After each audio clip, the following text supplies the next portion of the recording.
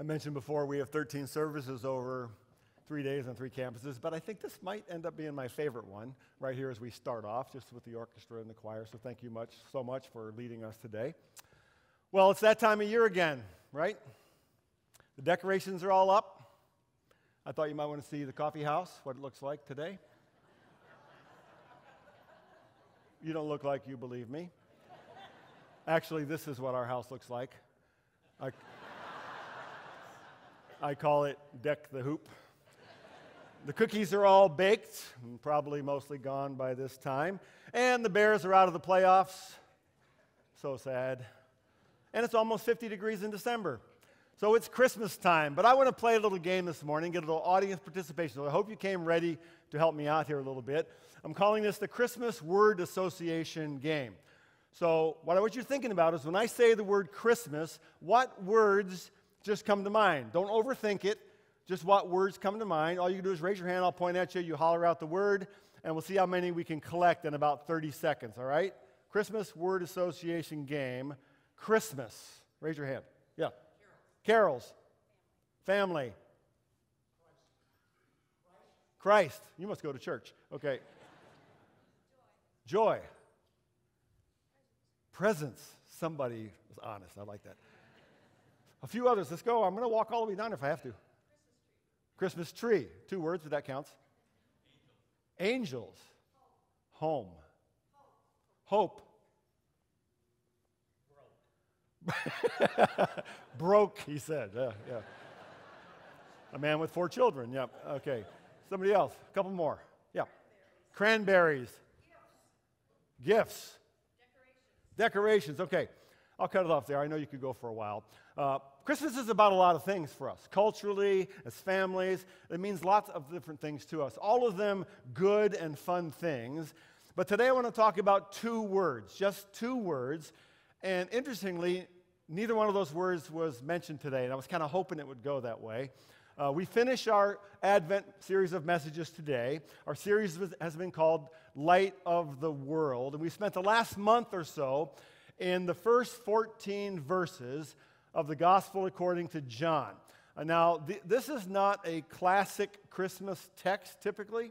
There's no star, no shepherds, uh, no angel, no manger, yet it does get us to where we need to get to today. So let me read this, most of this text for you, what we've been talking about for three weeks or so, and then we'll summarize and get into the two words we want to talk about today. John chapter 1. In the beginning was the Word, and the Word was with God, and the Word was God. He was in the beginning with God. All things were made through him, and without him was not anything made that was made. In him was life, and the life was the light of men. The light shines in the darkness, and the darkness has not overcome it. There was a man sent from God whose name was John. He came as a witness to bear witness about the light, that all might believe through him. He was not the light, but came to bear witness about the light. The true light, which gives light to everyone, was coming into the world. He was in the world, and the world was made through him, yet the world did not know him. He came to his own, and his own people did not receive him. But to all who did receive him, who believed in his name, he gave the right to become children of God, who were born not of blood, nor of the will of the flesh, nor of the will of man, but of God. I'm going to pause there before reading that last verse. In these 13 verses or so, John points us first to what he calls the Word, logos in Greek. That is the organizing principle of all things, the reason for existence of all things. He tells us that Jesus then is that Word and brings light and life to the darkness and death that we see in the world all around us. And then he says that a man named John, John the Baptist, was sent by God to bear witness to this light. And then he goes on to say that Jesus, then, all who believe in him, he gives them the right to become children of God. That is, born again, born anew into a new relationship with God, into a new identity, into a new inheritance, and a new destiny. Now, today we wrap up this whole series with just one verse. It's a single verse that actually is the linchpin to the entire trajectory of the bi- biblical story. It's the linchpin of all of the Bible.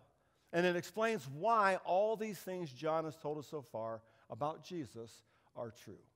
And here's the one verse John 1:14. And the word became flesh and dwelt among us. And we have seen his glory, glories as of the only Son from the Father, full of grace and truth. So I'm going to focus on two words today. Two words that at first don't seem to go together at all, but words that I believe John uses very, very intentionally. Here are the two words flesh and glory. Flesh and glory. First, flesh. He says, The Word became flesh.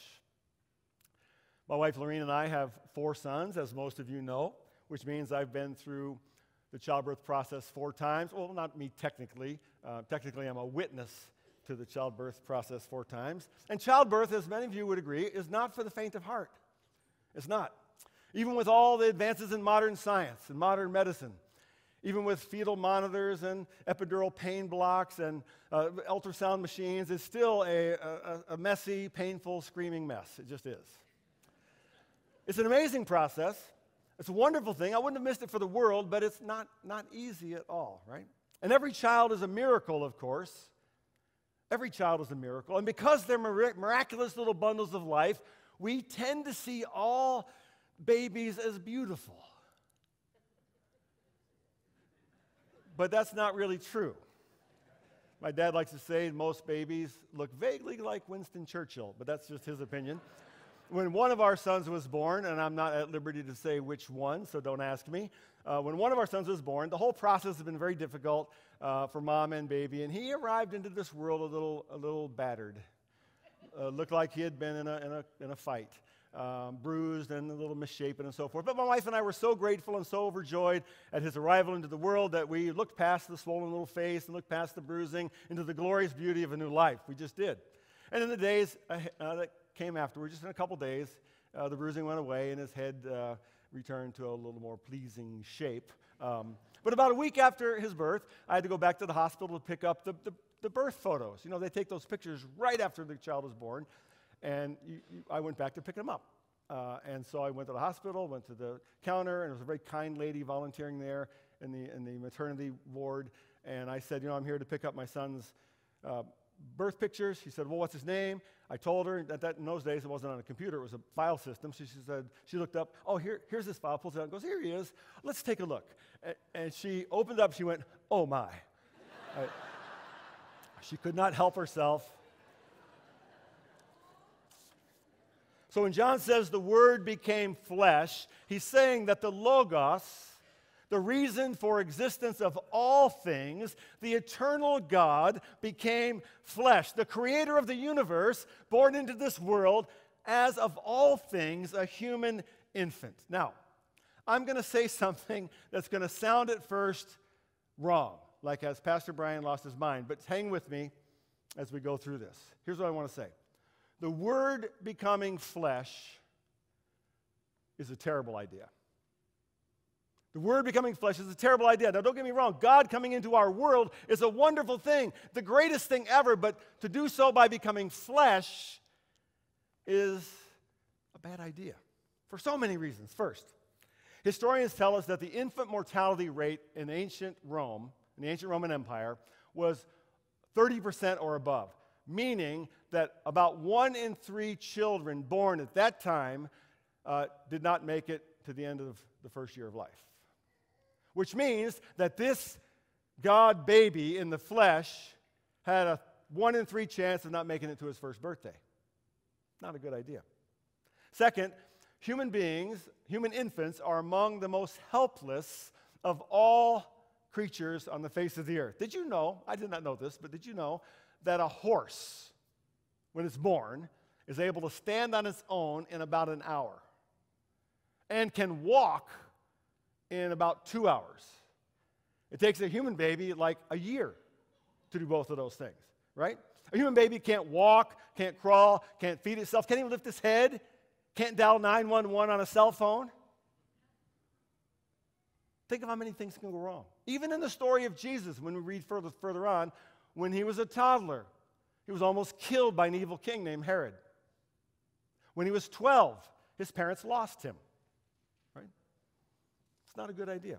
So, just in terms of feasibility and survival, flesh doesn't seem like a very good idea to me. But there's another reason it's not a good idea. Who is going to believe that? Seriously, who is going to believe that God became flesh? Who's going to believe that the God who inhabits all of eternity, who created the whole universe by just speaking words, that the God who is infinitely holy and infinitely powerful became flesh? Who's going to believe that this God could get poison ivy? That this God could get acne as a teenager? That this God could stub his toe on a bench? That this God, if he fell when running and scraped his knee, would bleed just like another child? Who's going to believe that? And by the way, this is still one of the greatest stumbling blocks to faith in our world today. And who's going to believe the whole virgin birth thing? That's not the easiest thing to wrap your mind around, is it? And yet, the culmination of John's soaring description of the eternal Word of God is this. And the Word became flesh. As one writer put it, ultimate mystery, born with a skull you could crush one handed. And dwelt among us, literally set up his tent, moved into the neighborhood where we lived, and lived a real historical flesh and blood life with family, friends, and work, and eventually died a real physical death. So let's assume that we accept all that, that we kind of get all that, the flesh part. And then there's another surprise. He says, and we have seen his glory. Glory is of the only Son from the Father, full of grace and truth. The second word I want to talk about is glory. Think for a moment about um, the most famous person, most important person you've ever met or been near in your lifetime. Just think for a moment. Anybody here in this room today ever met or been in the same room with a sitting or former United States president? Raise your hand. Oh, look at how many important people. Who? Jimmy Carter. Kennedy. Reagan. You were at Eisenhower's funeral and they were all there. Eisenhower was president when I was born. So, who else? Gerald Ford. Do we have any others? George Bush? Bush? Who? LBJ? Well, we have a very, very, very important group here today. Or how about um, anybody had an audience with the Pope? I got to hear Pope John Paul II speak in St. Peter's Square in Rome in 1979 in person, but I was about 300 yards away. I could barely see him up in, the, up in his uh, balcony area. But we live near Chicago. How about Oprah? Anybody been to an Oprah show? Okay, I knew somebody. Okay. How about anybody, Michael Jordan? Been, been close to Michael Jordan? Saw him play, but not actually met him. How about uh, Da Coach? Mike Ditka, anybody? Oh, see, yeah. That's, now that's really, now we're talking celebrity, right? But John writes, and the Word became flesh and dwelt among us, and we have seen his glory, glory as of the only Son from the Father, full of grace and truth. Now, the word glory is the Greek word doxa, from which we get our word doxology, and it simply means renown, fame, or honor. And it's closely related to the ancient Hebrew word kabod in the Old Testament, which means heavy or significant. For example, um, celebrities in our culture are have a kind of glory in a way. That is, they have a kind of weight. If one of those people we mentioned moments ago, if a former president or um, uh, a famous movie star or an athlete walked into this service today, we would all feel the weight of their glory in a sense because we'd all be aware the whole room would sort of tip that direction. It'd be hard for you to concentrate on what I'm talking about up here if you knew one of them was in the audience. That's the way glory works. And in the Bible, glory is a word almost exclusively used for God or God's presence or angelic beings. And glory shows up in the, in the well known story of Jesus' birth. Listen to these familiar words. Once again, Luke chapter 2. In those days, a decree went out from Caesar Augustus that all the world should be registered. This was the first registration when Quirinius was governor of Syria, and all went to be registered, each to his own town.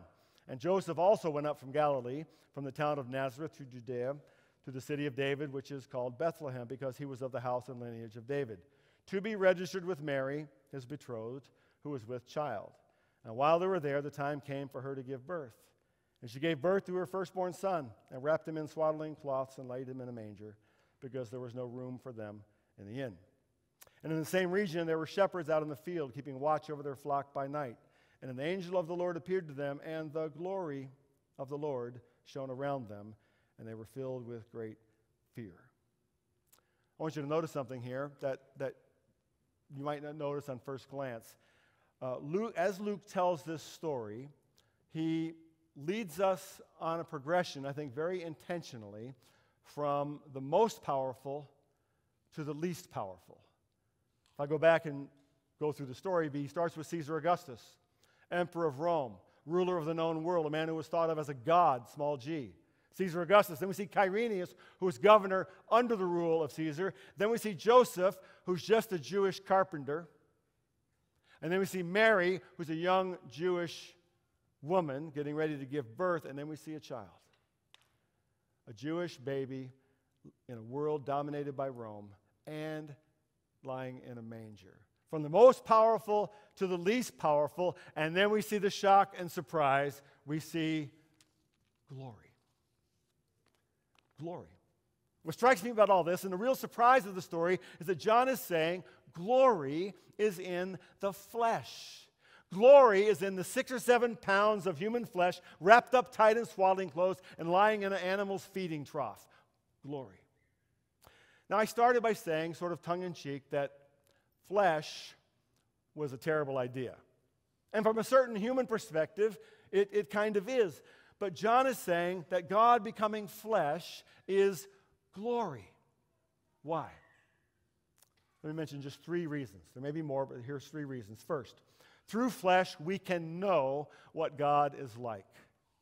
Through flesh, we know what God is like. Jesus said in John 14, He who has seen me has seen the Father. Without flesh, God is just an idea, sort of a concept, a vague, distant being. But with flesh, in flesh, God becomes real. God becomes near. He enters into the blood, sweat, and tears, joys and sorrows of our everyday lives. Through Jesus, God comes to the fleshly parts of our lives, the unholy parts of our lives, where we work, where we clean house, where we go to school and study, changing the diapers, buying the groceries, getting the flu shots, taking the final exams. God comes to the nursing homes and the hospitals. The word becoming flesh means that God cares. And more than that means God loves and God pursues that he comes to us, even to the point of becoming like us, so that we can see what he is like. So we can see the depth of his love. So we can see what he really thinks about us. So we can see, John says, his glory. Secondly, it's through flesh that, that our sins can be covered. Hebrews chapter 9 tells us that without the shedding of blood, there is no forgiveness of sins. And if we think about it, without flesh, there is no body. Without body, there is no blood. And without blood, there is no forgiveness of sin. Because without flesh, there could be no cross. Without the cross, there could be no death. Without death, there is no resurrection. Without flesh, we are still in our sins. And without hope in the world, that's what the Apostle Paul says. But because the Word became flesh, our sins are covered. Because the Word became flesh, our sins were nailed to the cross, canceled forever, and we can know grace and truth. Thirdly, through flesh, we can know we are not alone. The Bible tells us that God has always wanted to be with, to dwell with his people. Starting in Genesis, when we're told that God's habit was to walk with Adam and Eve in the cool of the day. Throughout the Old Testament, The people of Israel, when God would, would go before them in a pillar of fire or sm- uh, pillar of smoke by day and pillar of fire by night, through his tabernacle and through the temple with the Holy of Holies, where God's presence would dwell among his people. All the way to the end of the Bible, the book of Revelation, that, that gives us a hint about what God's plan is, what his promise is. In Revelation 21, verse 3, we read, And I heard a loud voice from the throne saying, Behold, the dwelling place of God is with man. He will dwell with them, and they will be his people, and God himself will be with them as their God. So when John says the Word became flesh and dwelled among us, he means, he's saying that we are not alone. He's saying that you are not alone. It means that wherever you have been, spiritually speaking, in your life, God has come to you. wherever you are now, spiritually speaking, God comes to you today. And when John says, We have seen his glory, glories as of the Son come from the Father, full of grace and truth, he's saying that there is nothing, nothing more significant, there's nothing more important, there's nothing with more weight in all of our lives, in all of our existence, there's nothing more glorious than this child of flesh lying in a manger. Now, Christmas is lots of things. We, we, we threw out a lot of words a few minutes ago. Christmas, culturally speaking, family speaking, Christmas is lots of things traditions and family and food and presents and trees and lights. And I hope that we all enjoy all of that. We plan on enjoying all of that at our home. But Christmas, when you cut down to the core of it, is about two words flesh. Of all things, flesh and glory. Matthew, the gospel writer, tells us all this took place to fulfill what the Lord had spoken by the prophet. Behold, the virgin shall conceive and bear a son, and they shall call his name Emmanuel, which means God with us. Would you bow with me as I close? Lord, we thank you today for what we celebrate together. You came in flesh. That we can know you, what you're like, that we can know your salvation, that we can know your grace, and that we might see your glory. So today we thank you for being the God who is with us. Amen. We're going to close in our traditional way at this service by singing together Silent Night, Holy Night. Uh, as the music begins, I'm going to walk over and light the Christ candle, and then I'll step down and we, will all stand and we will pass the light using our little electronic candles, one to the other, as symbolically bearing witness to Jesus as the light of the world.